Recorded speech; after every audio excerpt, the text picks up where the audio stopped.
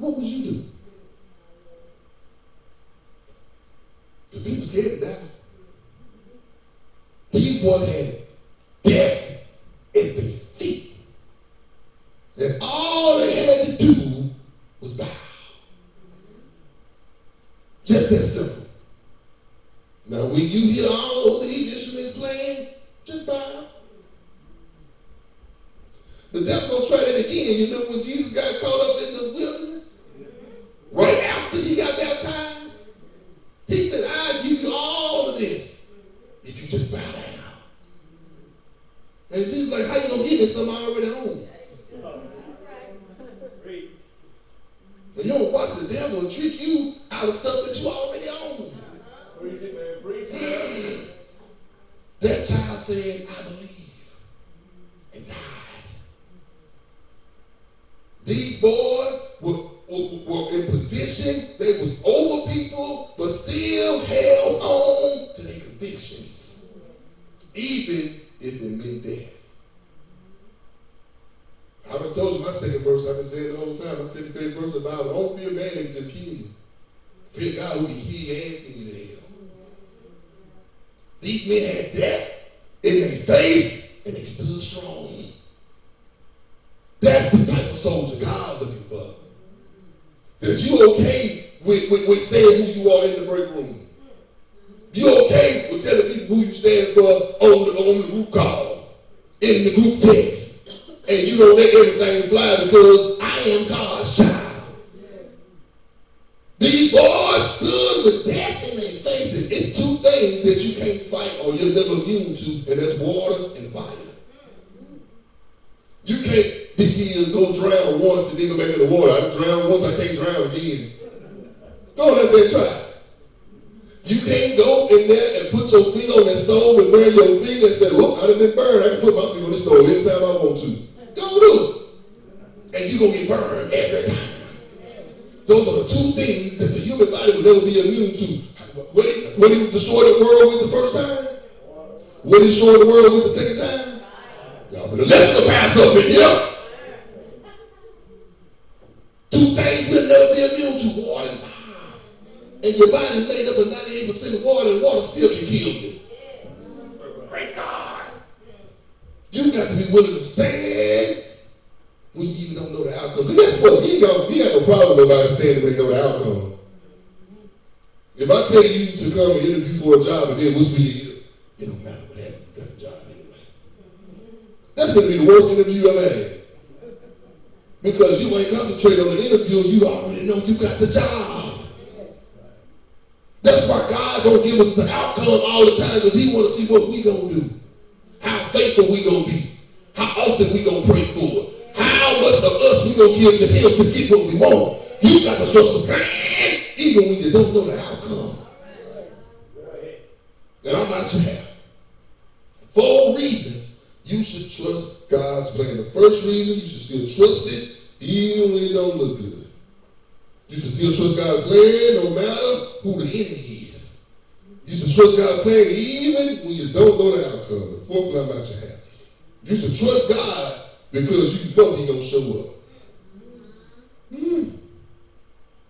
You got to trust Him when it don't look good. You have to trust Him no matter who the enemy is. You have to trust Him when you don't know the outcome, and you still got to trust Him because you know He'll show up. Mm. When the king looked in, he thought his calculations was off. He said, hey, y'all, did we put three people in there? He said, yeah. I said, what? It looked like I see. And then y'all missed it if you was reading too fast. He threw them in and bound. He said he looked in, he see four men loose. He said, go ahead, go ahead. If you read and read it right, he said they threw three men in down. But when the king looked in, he seen four men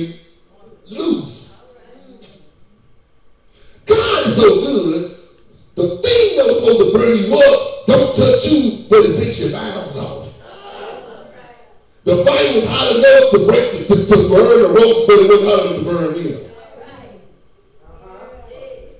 Because God will show up.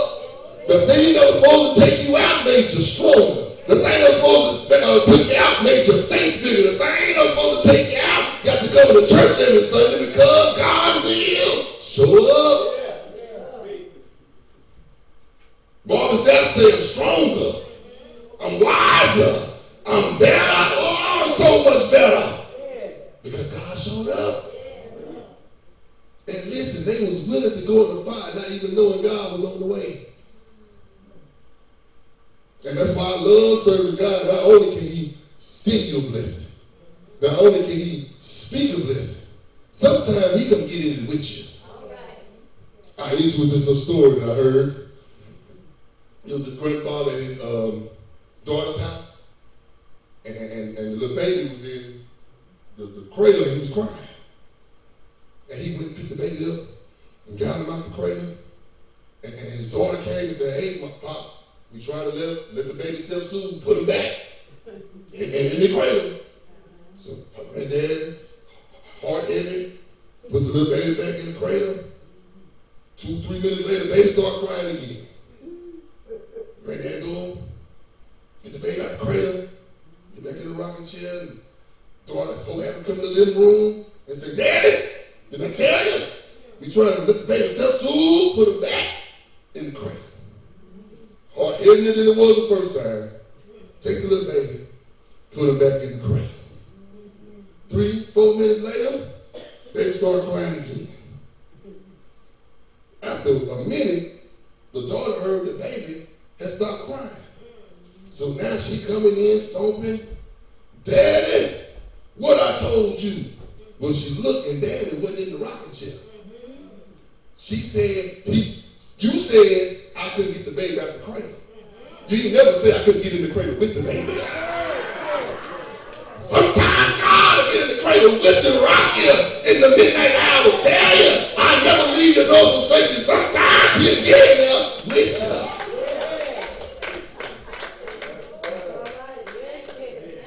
That's why we're in the season now because Adam messed up, Abraham couldn't fix it, Moses couldn't fix it, so God said, I'm getting your body like a man and let me get in there with him. And he was born of the Virgin Mary, went to the cross, died, and raised early from the grave because he got in there with us. We serve a God that'll show up.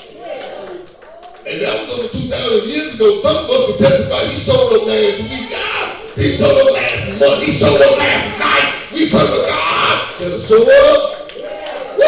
He'll show up. Show up in your teens. Show up in your 20s. Show up in your 30s. Show up in your 40s. Some of us in our 80s saying, He'll show up. Oh, we serve a God that'll show up. That's why you got to trust the plan. Even with tear-stained eyes, you got to trust the plan. Even with a heavy heart, you got to trust the plan. Because I'd rather him get in the cradle with me than leave me in the cradle by myself. The doors of the church are open. Woo! You may be here now. She said, I can't get you out the cradle. She never said, I can't get in there with you. We serve a God that'll get in there with us.